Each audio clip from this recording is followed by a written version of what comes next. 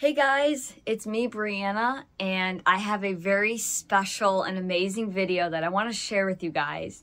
Um, but before I get into that, I just want to quickly announce that my group, Collective Soul Fans, just reached 4,500 members, and I am so grateful for that. I can't believe we actually reached this huge milestone. We're almost at 5,000 members this group is just getting better and better and bigger and bigger and more special by the day, all because of you guys. I didn't really do anything. All I did was make the group. You guys are the ones that made it special. You guys, um, you know, invited your friends. You guys made the comments, the posts. You know, you guys did it all. So I'm super grateful and thankful and just super happy that I can say that we reached 4,500 members. I remember one year ago, um, I only had like 2,000 members in the group. So we gained over 2,000 members in the course of one year.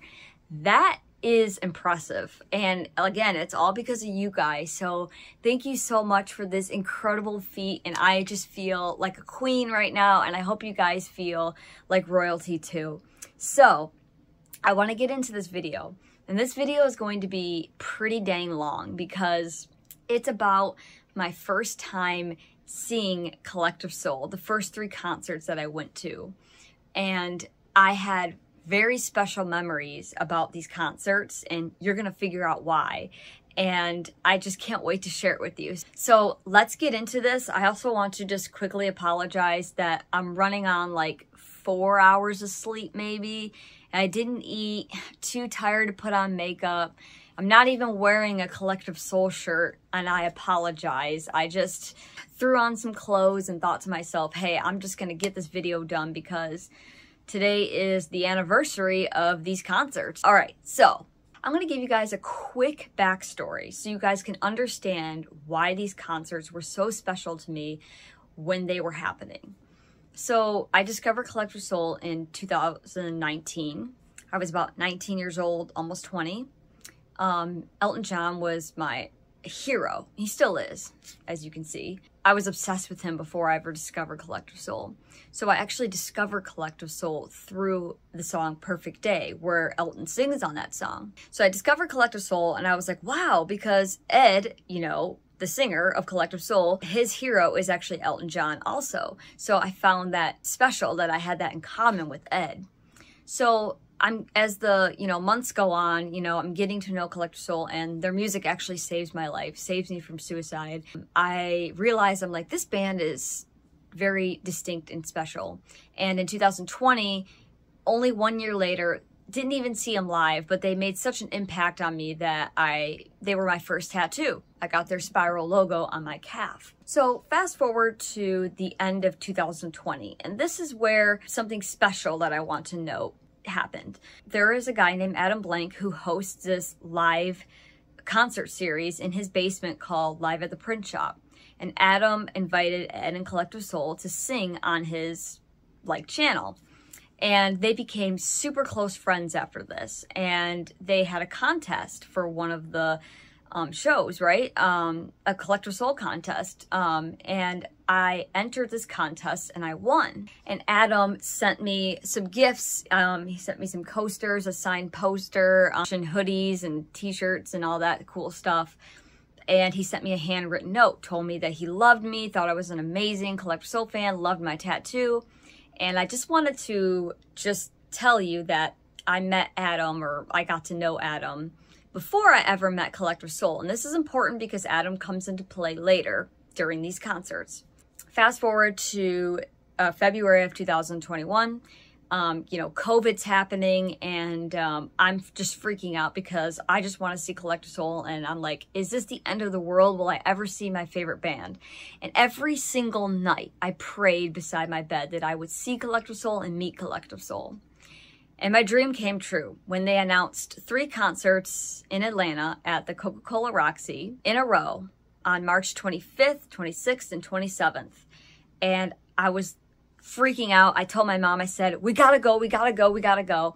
And she agreed, and I prepared everything in my possible soul for this concert. I knew in my heart, I was like, this is gonna be the best freaking days in my entire life. And I got a haircut, I got my nails done, coordinated my outfits and color coded them, and I packed everything like a freaking month early. I was so excited and so ready for this. So finally, March 25th comes, and this is actually very notable that um, March 25th is actually Elton John's birthday, and I found it very special that Elton John was the guy that introduced me to Collective Soul and also Elton John and is my hero and Ed's hero. So I found it very ironic that my first Collective Soul concert was on Elton's birthday, which is why I chose to wear an Elton John hat that day. We fly to Atlanta. I decided to stay at this or eat at this restaurant um, called the Yard House, which is right across the street from the Coca-Cola Roxy. So I'm eating outside, and this is a really funny story, and I'll say it really quick. Um, I had to go to the bathroom, right? So I'm in the bathroom, and all of a sudden my mom rushes in, and she's like, Brianna, Brianna. I'm like, what? And she's like, Dean is outside. And I'm like, oh my God. So I'm freaking out, right? And so I bust out of the bathroom. I barely pulled up my pants. I don't even know if I flushed the toilet. I was just freaking out, and I just wanted to a picture with Dean before he left. So I'm running outside and my friends are too much of a chicken shit to approach him. So my shy, timid little ass was like, I have to approach Dean. So I was so scared that I didn't even introduce myself to him. All I did was say, uh, can I have a picture with you? And he was with his wife and he kind of just looked at his wife and laughed and he was like, sure.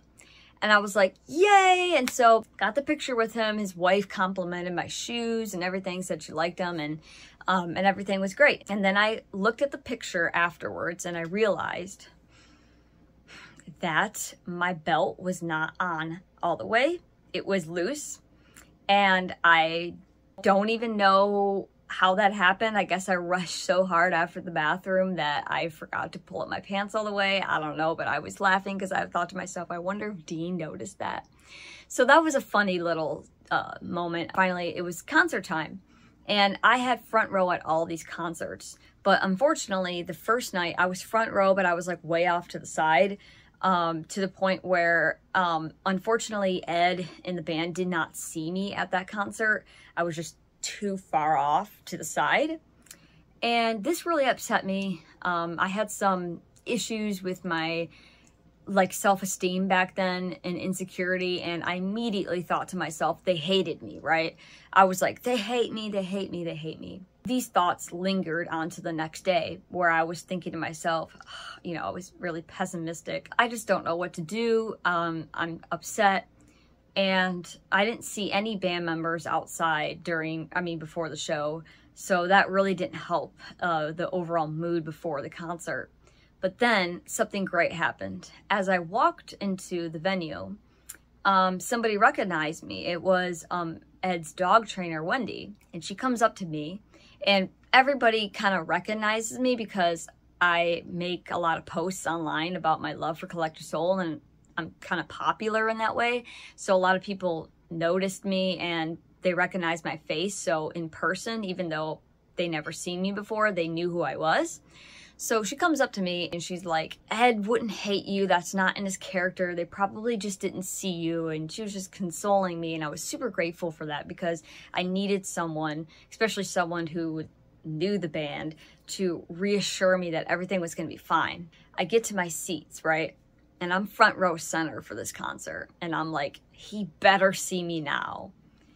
He definitely saw me. There was an amazing moment where I had a rose that I wanted to give him and I like held it out during the song Gel. I was too short and he couldn't reach it. So uh, I had a friend help like grab it and give it to him. So it's a little hard to see, but there is footage of it where he takes the rose and he actually blows me a kiss and he says, thank you. That was very sweet. Thank you. And it was so adorable. And just having your hero and your idol like blow you a kiss is like the ultimate fangirl moment. Like I was melting and bursting and I don't even know how I was still alive after that. So that was amazing. Um, and that night went really well. I got to hear some new songs um, that are going to be on the album Here to Eternity, like Who Loves and therapy. I got to hear these songs debut live at these three shows, which is super incredible. Those are my favorite songs, and I just I can't wait for you guys to hear them because they were great live, and they're probably even better in the studio.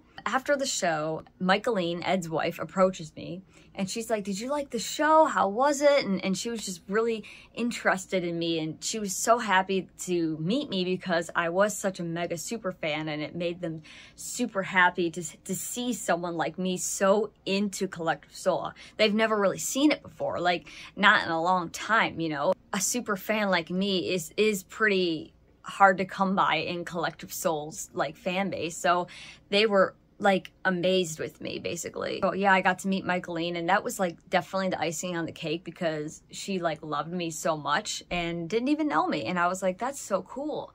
So after that concert, I go and I take a shower and I'm thinking to myself, okay, we've got one more night left. What are my goals? And I'm like, my goals are to meet the rest of the band, especially Ed. And I'm like, is this going to happen? Like, did I come here for nothing or did I, or will I actually accomplish this goal and will I meet Ed in the band? And I was praying and praying and praying and praying so hard that night. And then I woke up. It was time to go to the venue. And I go and I eat outside at the yard house again.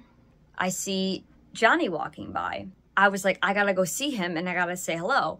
Um, and I tried to get his attention, but he didn't notice me because there were so many people around and he was with his family and his kids and wife and everything. so he wasn't paying attention to me at all. Even though I was behind him, I was too shy to like tap his shoulder. And I was kind of like, hey, Johnny, Johnny, like super quiet and everything. And he just, he had no idea I was behind him.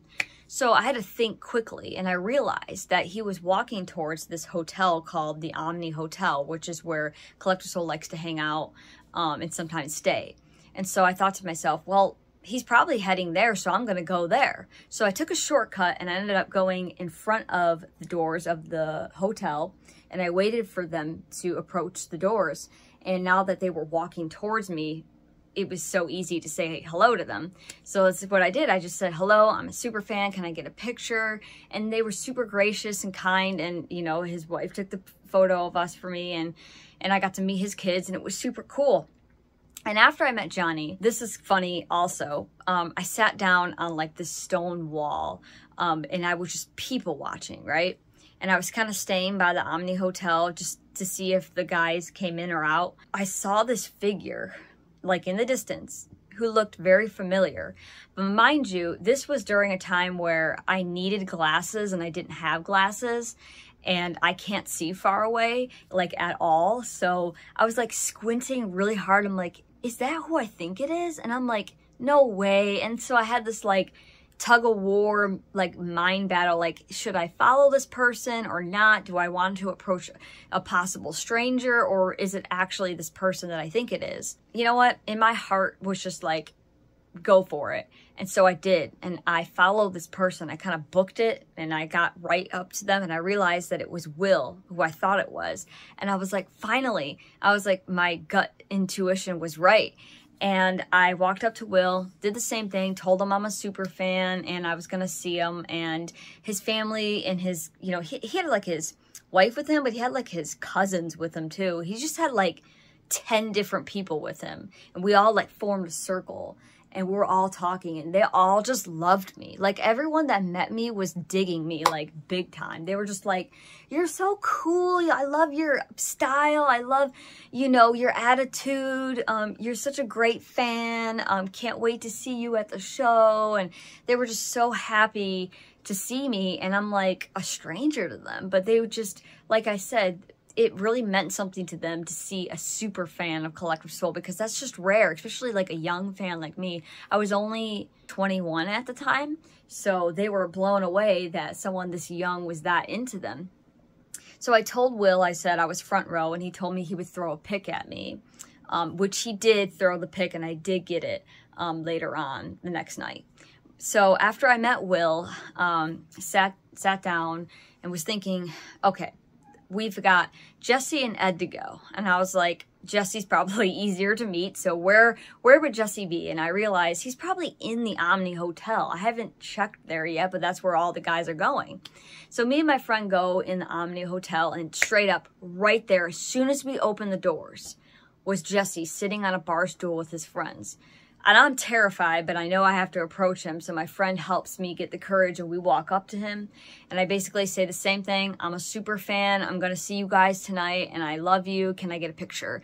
And he was once again so kind to me. And his friends were, were digging me again. Every, like I said, for the 500th time, I was popular. I had everyone in like my favor. Everyone loved me. I got a picture with Jesse. It was super funny because he stood up from his bar stool and he was like this tall and I looked up at him and I was like, oh no. And I was like, you're gonna have to sit down because I'm like four foot 11, you're like 70 feet. And he laughed at me. And so that's why he's sitting in the picture. I met Jesse, that was great. And then we had to hurry up because it was almost showtime. So I hurry up, go to the venue, and Michaeline's waiting for me. And she's like, Did you like last night's show? Um, how was it? And I just told her, I'm like, absolutely unbelievable. But I told her, I was like, I'm just hoping for even more tonight.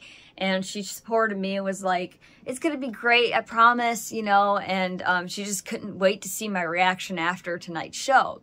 So the show starts, and this is the coolest thing. So remember the rose that I gave Ed the night before? He put it on an amplifier. And later on, Ed told me that he told all the guards not to touch that rose, to keep it there. And it stayed there overnight. And before, like, he even sang the first lyric to the first song on stage, he grabbed that rose as he was walking out onto the stage, pointed it right at me, and gave me this, like, adorable, huge smile. And I was like, oh my God, oh my God, oh my God. I was like, he remembers me. Ah! I just freaked out like you wouldn't believe. I went like ballistic, literally. I could not believe that. I mean, that was so special. But then the night just gets better and better because he continues to point at me during several songs. Like during Shine, he points at me. And then there was a moment during Better Now, he was asking the audience if they were feeling it. He's like, Are you feeling it? And everything. And I'm screaming like this. And he's like, Oh, she's feeling it.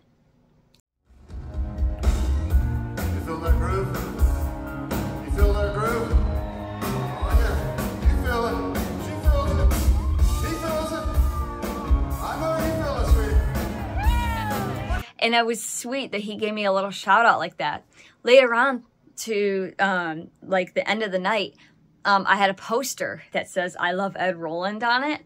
And I held it up during gel and he gave me this super adorable face. Like when he saw the poster and I once again completely melted. I was a fangirl puddle on the floor after that. I was so mushed.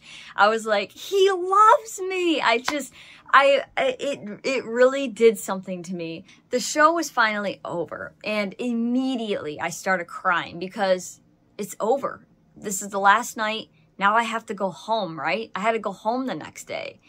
And all I could think about was, I never met Ed, you know? And I was like, everything was so great, but do you see how like everything led up to this moment? I met all of the guys, all of the special stuff happened. I met every single band member and all their families, Ed's wife, Ed's family, everything, but I never met Ed himself. And that was like destroying me on the inside. So, this is where um, things turn around. Remember Adam Blank that I told you about in the beginning of this video? Well, he was at these shows and he recognized me at this concert. But he wasn't able to say anything to me because, um, you know, we had to move on. Like we, they, they were rushing everyone out and it just wasn't a good time for him to approach me. So as I'm walking out of the concert, um, I'm crying. I approach this security guard and I'm like, is there any way I can meet the band members or Ed after the show? And he was like, well, it looks like they're all going to hang out at this bar across the street. You might want to check out this bar. And this guy was super kind and he actually went into his car and grabbed the set list from the first night and gave it to me just because I was such a super fan. And that was so kind. And I really thank the security guard for telling me this because he was also responsible for me meeting Ed later on tonight um, by telling me that they were all hanging out at this bar. So I'm walking and I see, I believe, Johnny, Will, Dean. They all walk out of the venue and they see me standing alone and they all come up to me and they're like, Did you like the show? How'd you like it? Kind of same thing, Michaeline. They were just asking, you know, for my opinion. And of course, I told them best concert ever and blah, blah, blah, blah. But I didn't tell them that I wanted to meet Ed because I was just shy and I felt like that was selfish. So I was just kind of like, it was great. And, I, and but I was crying because I was like, I don't want to go home. This is going to be terrible. And I remember Dean gave me this huge hug and he said, don't feel bad about going home. And he, and he was like, you'll see us again. And he reassured me and promised me that I would see them again, which of course I did. I ended up seeing them 17 times now. it was nice that they that the band like cared enough about their super fan to just approach me and and just ask me how the night was and everything and got to know me a little bit more. They finally finished talking to me and I watched them walk off and I watched where they were going and I saw that they were all going to this bar.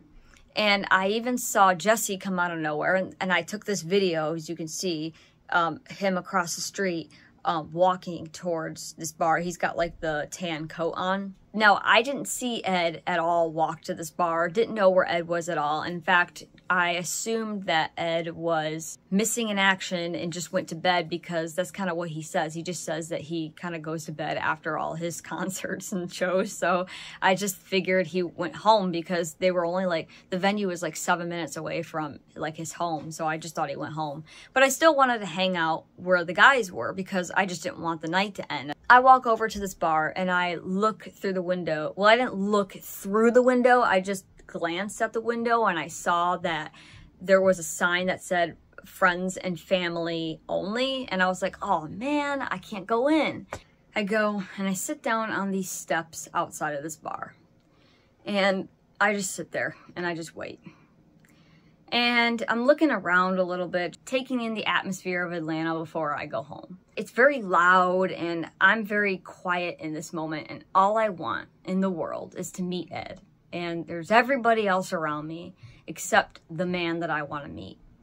And as I'm sitting here, the doors open from the bar and I see Adam walk out and he recognizes me and he knows me from the contest that I won a few months back. He says hi to me and he's super like excited to see me and he doesn't say much. He just says hello and he's like, stay right there, hold on. And I'm like, okay. And I truly just didn't think of it as anything. I was just so upset, honestly, that I didn't meet Ed. And that's all I could think about. I was like, where is he? Why can't I meet him? And I, I didn't see him in the bar. Like I said, I w- I didn't want to like go up to the window and look in because that's just kind of creepy. So I just, from the glances that I could see, I didn't see Ed in the bar. So I was like, he has to be home, right? Five like long minutes of just silence, just sitting on this step. And mind you, the steps are facing away from the door, so you can't see people come out of the door or whatever unless they say something. And the door is open, and I hear this voice, and I absolutely died in that moment. Like, you know, the song, like, I just died in your arms tonight. Like, that's literally what happened to me. I, I just died in your arms tonight. Must have been something you said. I heard Ed say, Where is that girl? I've got to meet her. I whip my head around and I see him and he's looking right at me and I'm like, I scream, what the fuck? Like that. And I jump up and I just bolt for him. Like I, when I say like I bolt, like I literally ran a marathon and I went up to him and I just, just grabbed him like as, as hard as I could. Like I just dive bombed into him. And he was like, he just was so happy to finally meet me and he was he adored every single second that I was in his presence. He gave me this huge hug like this and he's like, "Oh, come on, let's sit down." And I was like, "What?" Like I he immediately sat down with me on the steps right away. I remember like as I sat down on the steps and he sat down next to me, my body just like tingled all over because he didn't just like sit near me, like he literally sat right next to me. Our shoulders were like basically touching. I, I didn't even know what was going on. I was like, why, why is he sitting next to me? I was like, what's happening to me? Like all I knew was that I needed to tell him everything that I wanted to tell him and my mom sat down next to me and um, Adam and some friends were like huddling around us. And Ed's photographer, who I met at the show, her name's Jennifer, she got out her professional camera and started taking pictures of us. Unbelievable, I know. Had a professional photographer taking photos of us meeting. So I'm literally like sitting here next to Ed and and all I can think about is I love you so much, right? And I'm but I'm thinking to myself at the same time I'm like I but I have to calm down because I need to say everything that I want to say. I'm not going to tell you everything that I said because there's a video that my mom took. She filmed the whole like meeting of us where I where you can see what we said to each other. So I'm going to link that in the description of this video for you guys to see the actual whole video of us meeting and talking. But I'm just going to talk about some of the highlights here. I'm sitting there next to Ed and the first thing that he says to me, he's like, that rose was so sweet you know, the rose that I gave him. And he, he was telling me about how he told the guards not to um, take it away, that he wanted me to uh, see that he still had it at the next show. Oh. Uh, that rose was so sweet. I, I, I, and I made him not take it off. I was like, don't move the rose we started like ended up talking about like our heroes and our inspirations and everything after that and I told him all about how I love Elton also. He was so sweet. He was like, you're going to teach me. He was telling me that I was basically going to teach him a lesson in life and that everything was going to come full circle and that, um, because, you know, I told him that he taught me and saved my life and all that. And, um, so he was basically saying that I was going to teach him a lesson that he couldn't wait in like 20 years from now to sit down and talk to me in the same way and, and talk about what I've done. You know what? You're gonna do something special. I feel like I'm a I'm a, a guy that believes in vibrations and energy. You're gonna do something special. I, I believe in that. Right now. I mean, we just met. We just met, right? You're gonna do something special. You are. I love this. I love this. And one day I'm gonna sit down with you like this if you're gonna do something more special than anything. And I can't wait to sit down and talk to you about what you've done. I can't wait. Of course, I was too shocked to cry or anything. I was just stunned that he was saying this stuff to me.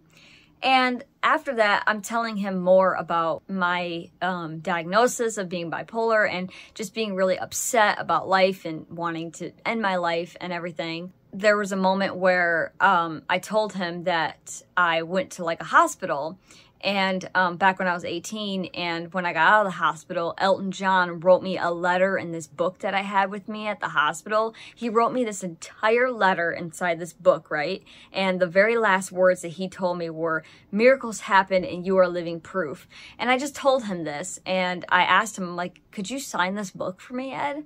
And he looked at it and he almost said no because think about it. That's ed's hero. So he was he thinks to himself that he's not good enough to to sign something that elton signed. But i immediately told him i said well i feel like you know that elton was telling me that you know miracles happen and i and i told him i'm like i think you're a miracle in my life and i just want you to sign this book. You know you mean so much to me. He didn't hesitate. He just said are you sure? And i said i would die to have you sign it. And he just gave me this look like, okay. And, and he signed it and he wrote in the book, you are love, which later on I got tattooed on me right beside my Collective Soul logo. So he writes in the book, You Are Love. And then he explains to me what this means. And he said to me, You are love. You aren't the problem. You're the cure. You're the cure for everybody out there. You're the cure for me. I- You know what love is? It's vibrations. Like I told you tonight, you vibrated and gave me energy. You're always there giving. You're giving. Love is the cure. You are love. You're the cure. You're not the problem. You're the cure for us. You are the cure for me. You're the cure for everybody out here. Does that make sense what I'm saying? I realized, wait a minute, he's so right. Look at all this love that I've just given Collective Soul. And by doing this, it totally gave them power and love and, and happiness and joy and peace. I remember Ed telling me it was hard for me to keep my eyes off of you because you fed my spirit on stage. I can't tell you, what an inspiration you were for me to see you every night. Like, I, it was hard for me to keep my eyes off of you because you, you fed my spirit on stage. And hearing him, my hero, tell me that I'm basically an inspiration to him. Like it just could it just couldn't get any better. It just blew my mind that my hero was telling me these things about me as if I was his hero. And he just met me. He literally said, "We just met. We just met, right?" And he said, "You're going to do something special." You're going to do something special one day. And he just kept telling me this over and over. I just find this the most beautiful moment of just two humans connecting. And I was so grateful that there was a photographer taking all these photos. But also, you know what was amazing? People that didn't know us realized that something was going on because we have a photographer, we have like a small crowd, a crowd of people started forming around us and just watched us. Total strangers, just random people in Atlanta, didn't know who Ed was, didn't know who I was, but they could see that we were like a big deal and that we were, you know, connecting in such a beautiful way. Like there was a moment at the very end where I remember him saying something like in 20 years or whatever, like he couldn't wait to see uh, what I've done. And I asked him, I said, will you still remember me? And he looked at me and he literally said, of course I'll remember you. And he says, I, I, I don't forget, I don't forget moments like this. I just don't.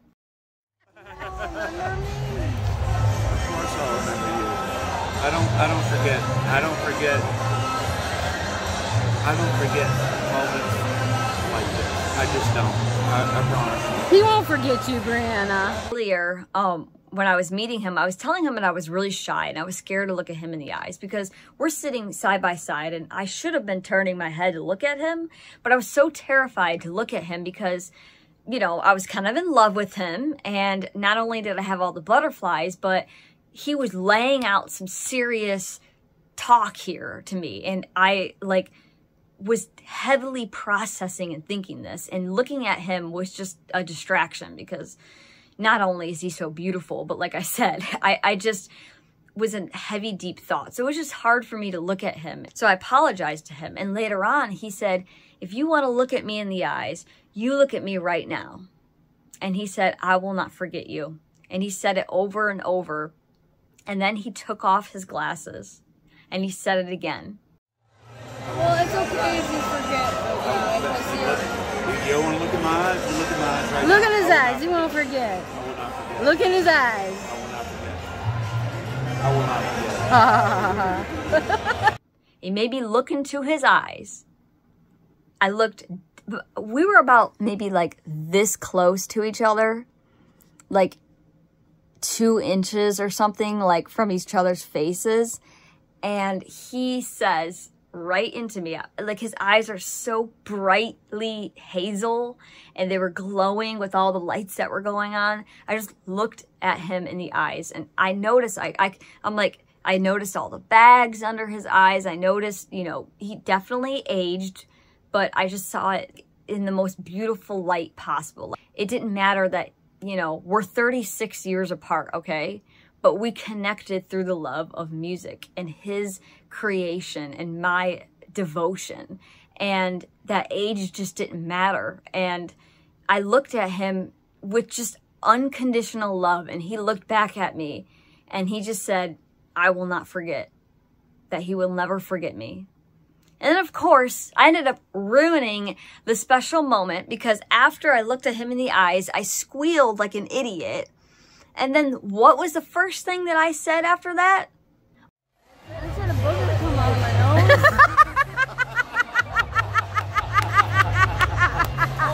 Oh, a booger just came out of my nose. Are you serious? I was so scared. I didn't know what to say. So I say that. Of course, he starts cracking up after this, right? Just laughing away. It was the perfect icebreaker for like that little intense moment. And we just got to connect even closer to each other, like through humor. And that's when Adam comes in, right? And Adam's like, oh my God, this is so amazing. And he's like, you're awesome. And Adam starts telling me about how he knows me and how he saw how special I was. He wanted to, you know, bring us together, right? I still can't believe it to this day. Thank you from the bottom of my actual heart for making this happen, Adam. Just I literally love you so much. Adam was telling me all about how he loved me. And then finally, the last moments of our little talk here, I told him, I said that I met everybody except Ed. And I was so upset. And I just said that I prayed every single night that I would meet Collective Soul and see the band. And he said, Well, you've done all of the above. And he said, Give me a hug. And he gives me this amazing bear hug, right? This absolutely, genuinely adorable, best hug of my entire life, mind you.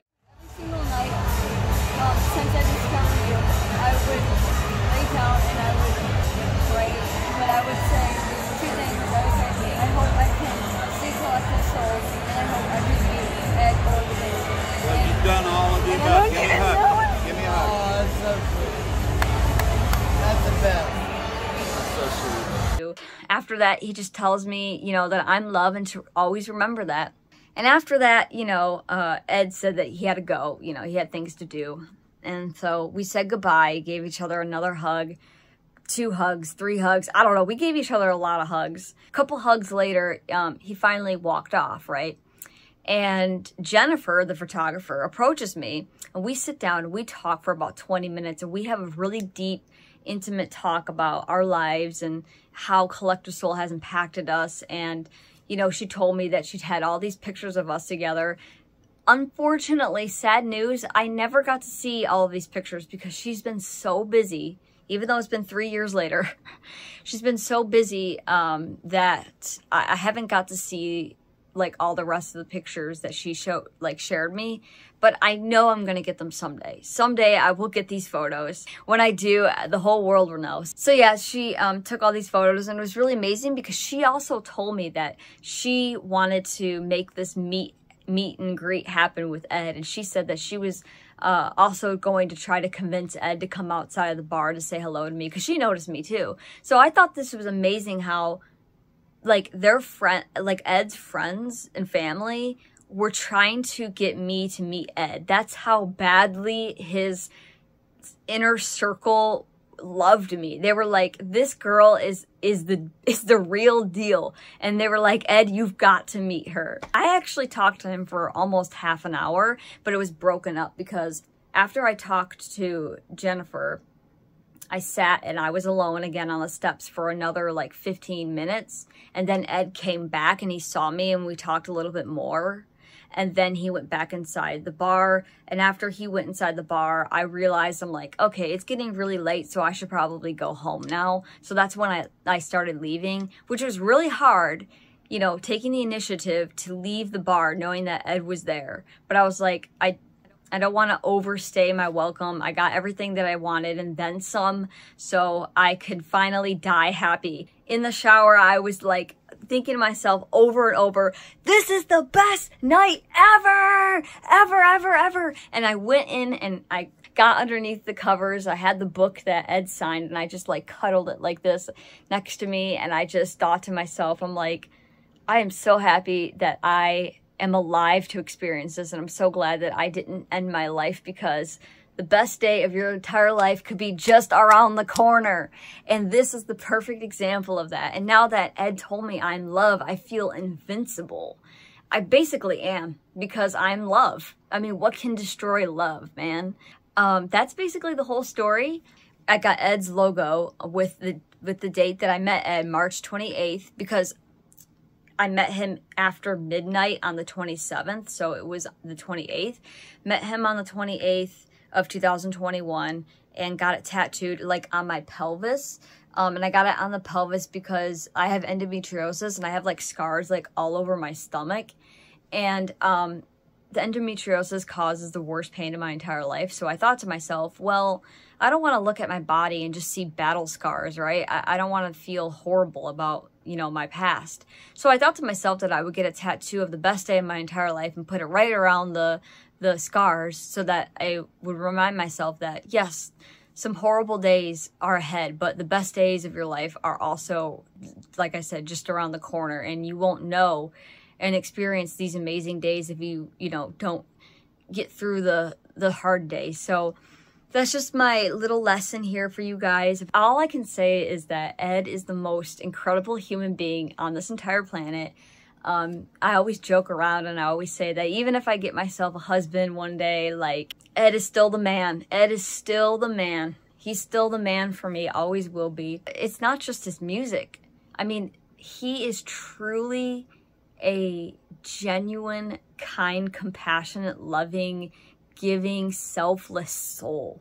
Like, he is so pure, and you'll never find somebody as unique and special as him in this world ever again. Keep supporting a loving collective soul because, you know, they're the real deal and they are worth everything. They're, they just are. They just are. So, Thank you for watching. I know this video was so long, but if you stayed through the whole thing, you are incredible. Uh, thank you so much. And um, I just can't believe you sat here and listened to me talk and jibber jabber and be all weird for like a, like a half an hour. Like, very happy for your um, devotion, your consideration, your kindness just to watch this video. So, or maybe you were just bored and you were like, hey, I don't know what to do. Let's watch this idiot talk for a while. Thanks so much for like supporting me. Like I said, thank you if you're a member of Collective Soul Fans. 4,500 members is the best thing that's ever happened to me. Mm, besides meeting Ed, but you get what I'm saying. Check out my channel for more Collective Soul videos also. Bye!